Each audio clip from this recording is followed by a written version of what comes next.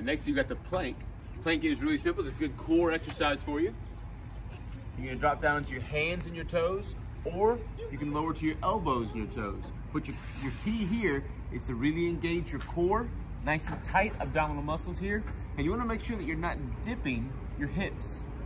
If your hips are gonna sag and dip, it puts a lot of pressure on your lower, lower back, lower spine area. So if anything, keep your hips elevated just slightly, but keep that core nice and tight, nice and strong right through there in the middle.